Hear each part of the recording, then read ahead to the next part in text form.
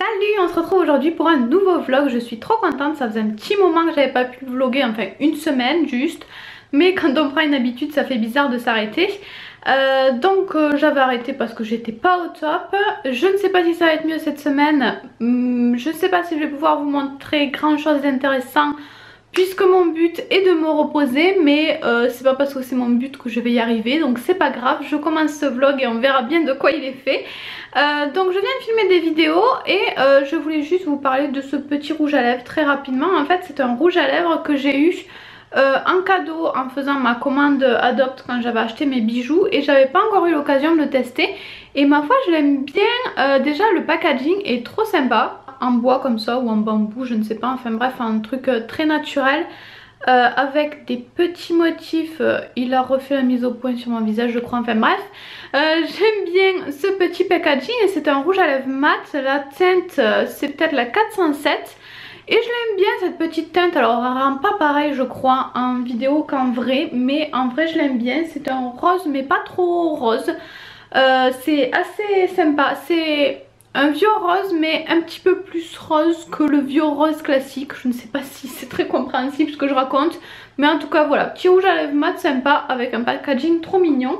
Donc j'aime bien ce petit produit là et peut-être que je vais tester avec vous aussi le mascara. J'avais acheté un mascara à action euh, de couleur que je n'ai pas testé non plus, que je n'ai pas trouvé le temps de tester.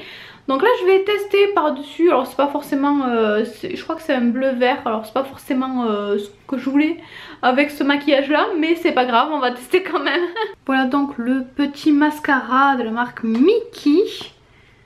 Alors je vais juste en mettre une petite touche comme j'aime bien le faire avec les mascaras de couleur. J'en mets pas partout, hein. j'en mets juste un petit peu au coin externe comme ça. Il a l'air de bien marquer. J'ai pas l'impression que ce soit dingue en vidéo. Mais en vrai moi j'aime bien, je la trouve très sympa cette petite couleur. C'est la teinte je ne sais pas. Ce n'est plus marqué mais je l'avais dit dans, ma, dans mon haul action je crois bien. Maintenant qu'on a parlé des trucs un petit peu rigolos, euh, je voulais vous dire que mon papy est à l'hôpital de nouveau, le pauvre. Il venait de rentrer chez lui, il était trop content et, il est de nouveau à l'hôpital. Je pense qu'ils vont le garder un petit moment parce que c'est pas rien ce qu'il a eu de nouveau. Donc euh, j'espère que ça va bien se passer et surtout j'ai beaucoup de peine pour lui parce qu'il avait tellement hâte de rentrer chez lui. J'en ai tellement marre d'aller à l'hôpital. Euh, je crois qu'on va prendre un abonnement pour la famille. J'espère que ça va finir par s'arrêter parce que là vraiment ça commence vraiment à devenir lourd. Donc voilà, espérons que ça se passe bien, qu'il ne le garde pas trop longtemps, que tout aille bien, qu'il puisse rentrer chez lui, etc. Mais voilà, encore, euh, encore une emmerde, encore et toujours. J'ai l'impression que rien, que ça ne va, jamais rentrer dans l'ordre.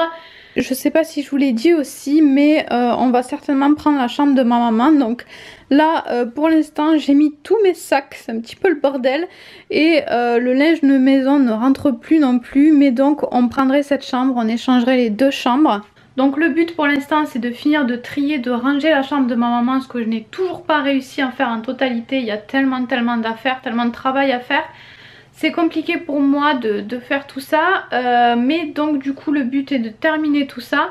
Euh, j'aimerais donner ou surtout bouger des meubles pour pas avoir l'impression d'être dans la chambre de ma maman en fait. Euh, dans, le, dans le futur je customiserai certainement les meubles mais dans l'immédiat ça va pas être possible et j'ai pas envie d'avoir l'impression de dormir dans la chambre à ma maman avec ses affaires etc.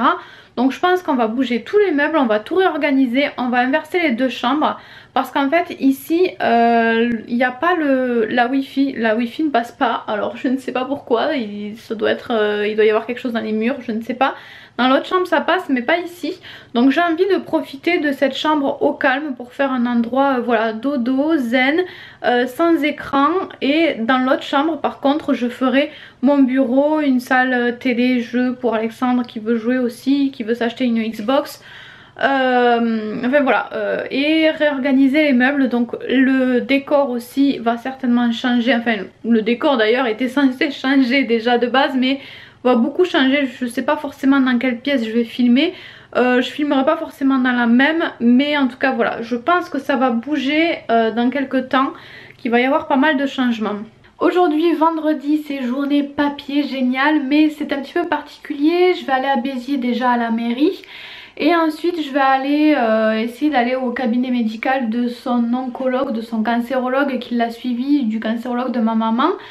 Euh, parce que en fait j'ai un papier à, faire remplir par euh, le médecin généraliste qui suivait ma maman ou par le médecin qui a constaté le décès. Sauf que à ce moment-là, nous n'avions pas de généraliste. Il n'y a pas de généraliste qui l'a suivi pour plein de raisons différentes. Enfin, on s'en fiche.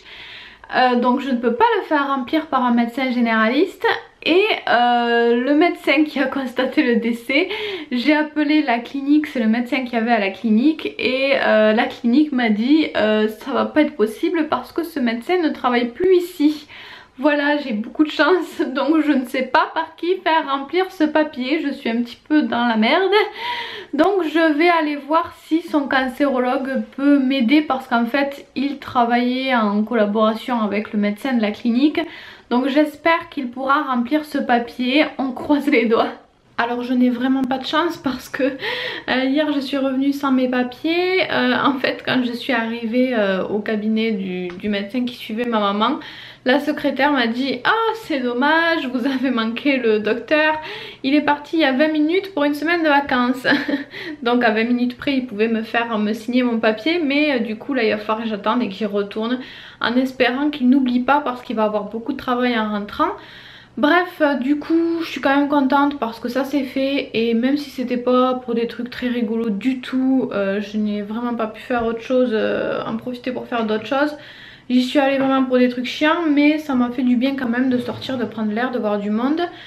Euh, aujourd'hui je suis toujours avec euh, mes vêtements de sport parce qu'on a fait les courses en vélo. Du coup j'étais super fatiguée cet après-midi mais je me suis bien reposée et j'ai eu envie d'écrire un article sur mon blog.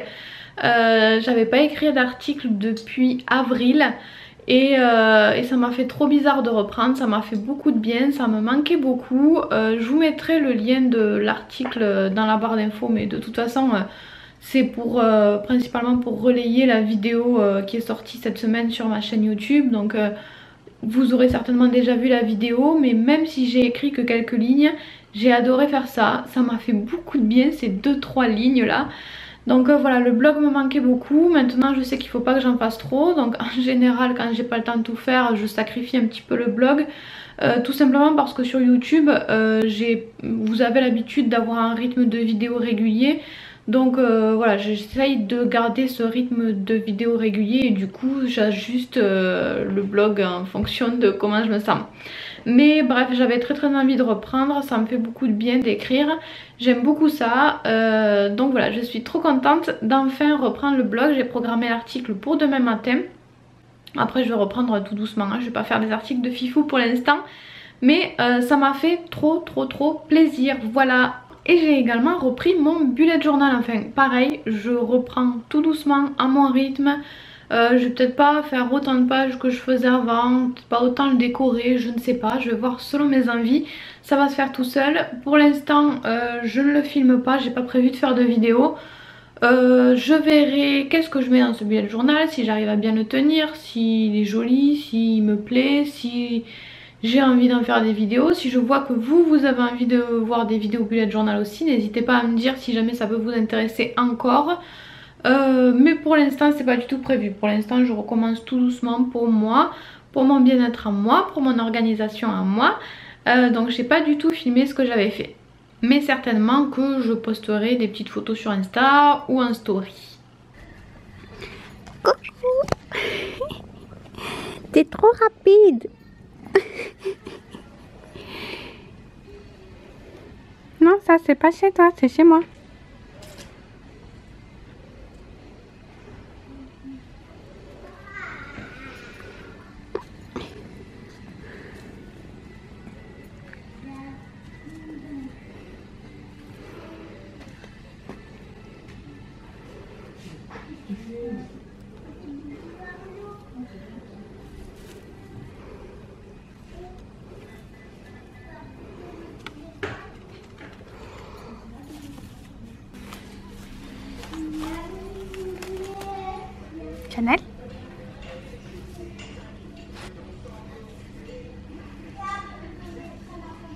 Je vous retrouve aujourd'hui tôt de bon matin, j'avais commencé à faire du montage et j'ai un bouton qui m'énerve depuis quelques jours qui me fait mal.